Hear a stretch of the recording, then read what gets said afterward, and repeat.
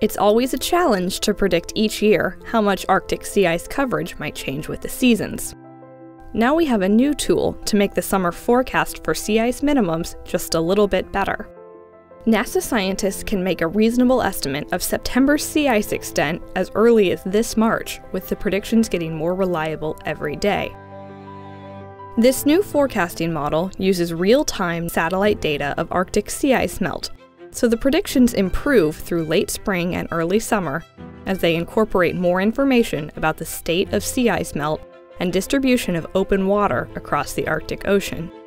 Although most forecast models focus on predicting the extent of sea ice across the entire Arctic, this model also produces reliable forecasts of sea ice in specific regions, like the seas north of Alaska, crucial information for people living in and moving through the region.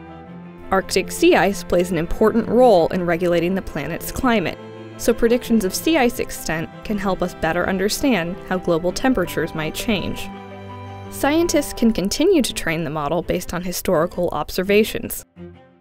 In just a few weeks, the model will begin producing forecasts of Arctic sea ice extent for the coming September and will continue making improvements as the annual sea ice minimum extent gets closer.